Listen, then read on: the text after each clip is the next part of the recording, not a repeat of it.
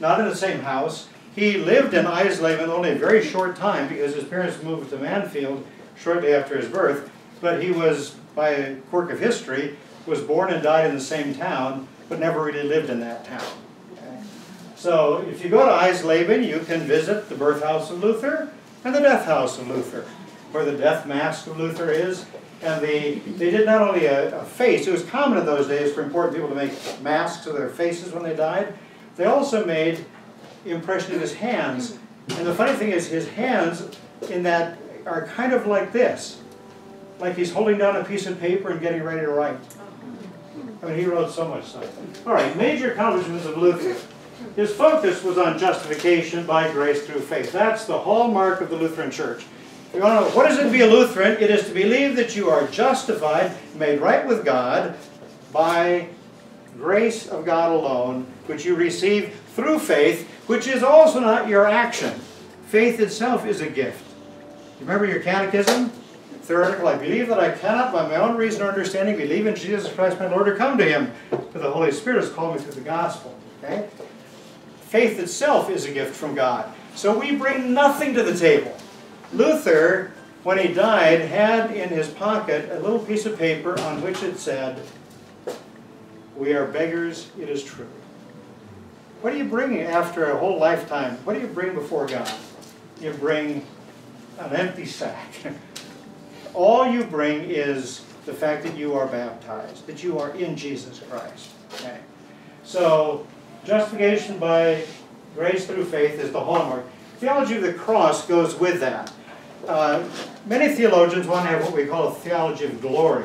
We're always looking to, you know, how are we glorified by God? How are we lifted up? And Luther kept saying, no, the only way you're going to know God is to look at Jesus. The only way you're going to understand Jesus is to look at the cross.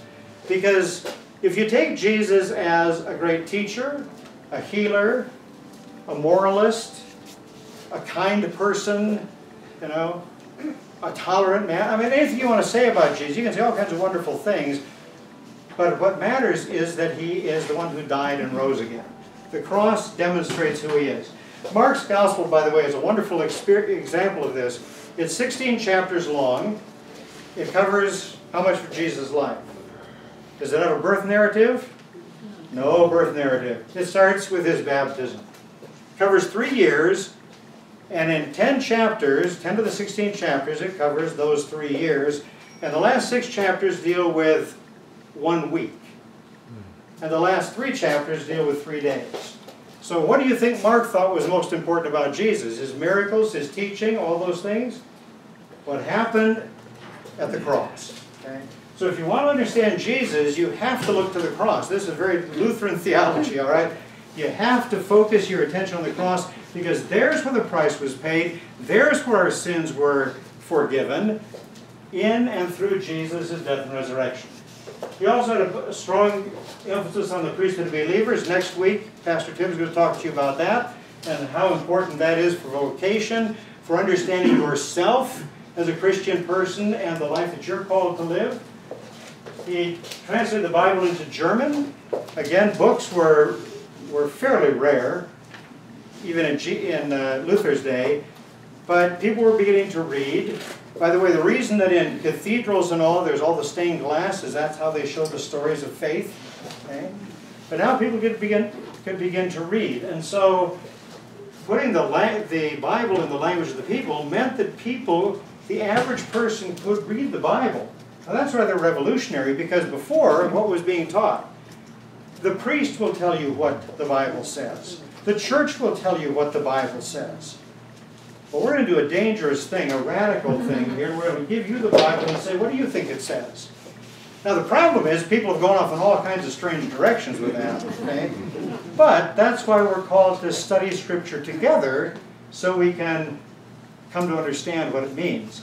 But to have it in your own language means you can read it. If it had not been for Luther doing that, we might still be having Latin Bibles, and chances are we'd read even less of the Bible than we tend to read now. Right? He also put worship in the language of the people. Before that, worship was in Latin. All right. So by putting it in the German language, you wrote a German Mass. Uh, and by the way, one of the pieces that changed radically in the German Mass was and I'll tell you more about this in a few weeks when we talk about the Eucharist, he took out the Eucharistic prayer because it had become so encumbered with things about what we do, our sacrifice, our giving, our doing, and what's what's it about? God's doing, God's action. And then he wrote lots of hymns. There are a bunch of them in our hymnal. Uh, most famous of them is Mighty Fortress is our God. All right, based on Psalm 46. Um, some claim that he took uh, took all you know secular music and uh, put good words to it. So what? Okay. If he found a good tune, he used it, he wrote words to it, and if you look at his hymns, they all tell the story of salvation. There are a couple of hymns that are like 26 verses long. And if you sing it from beginning to end, you get the whole story. but we don't tend to sing all 26 verses. We probably should some Sunday, just for fun. Uh, I mean, Luther's hymns, by the way, how does the Mighty Fortress go? A mighty fortress is our God,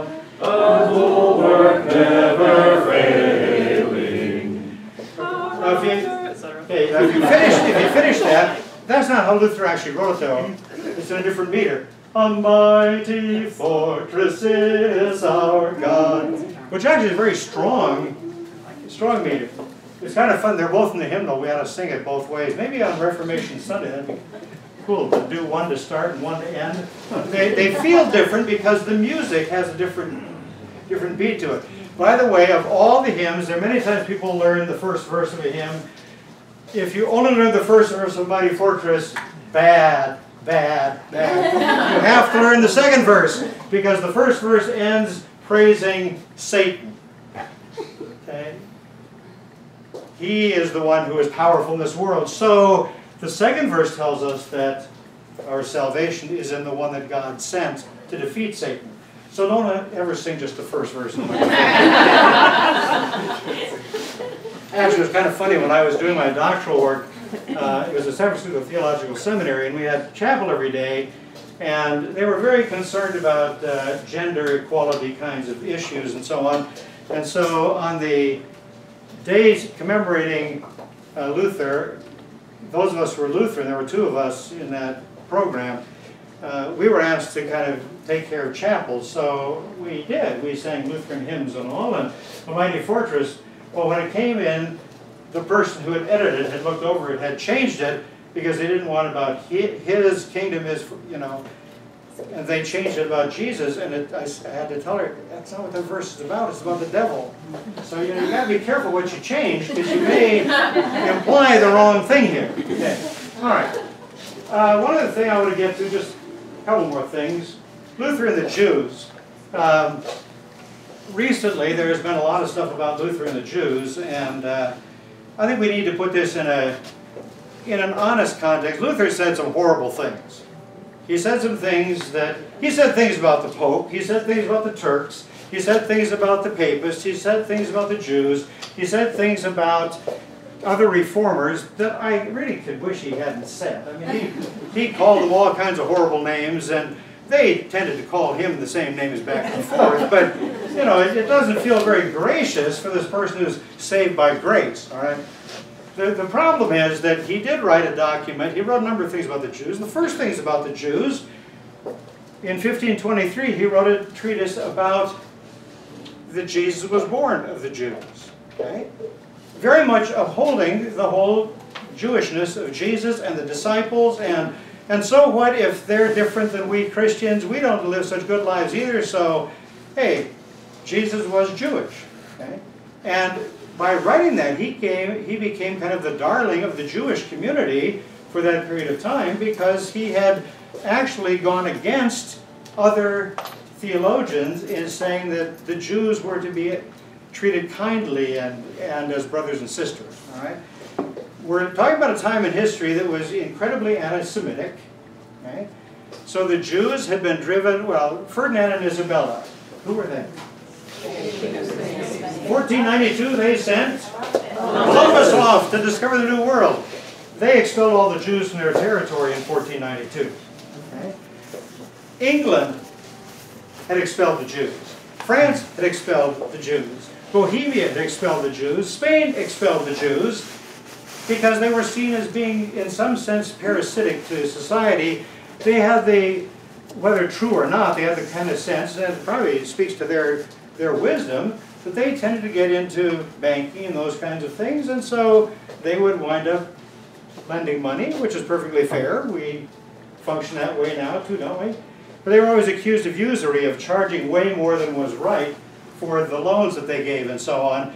And so, for all kinds of reasons, different countries expelled the Jews. Okay?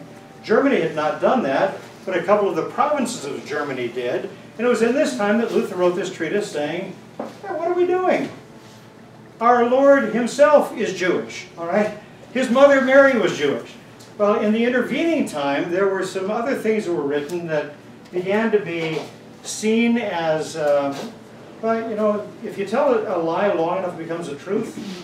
Well, so things were written by people about the Jews that they did these horrible things, such as stealing children and using their blood in different ceremonies, uh, desecrating the host in the sacrament, and so on.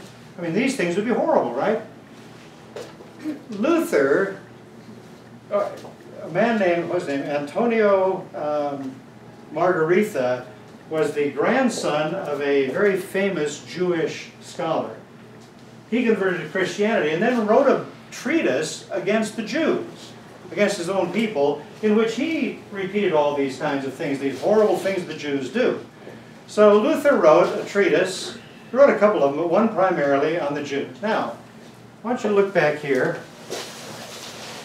Luther's works have been uh, gathered together. They begin right here with this first red book, and they go to that red book down there. Okay?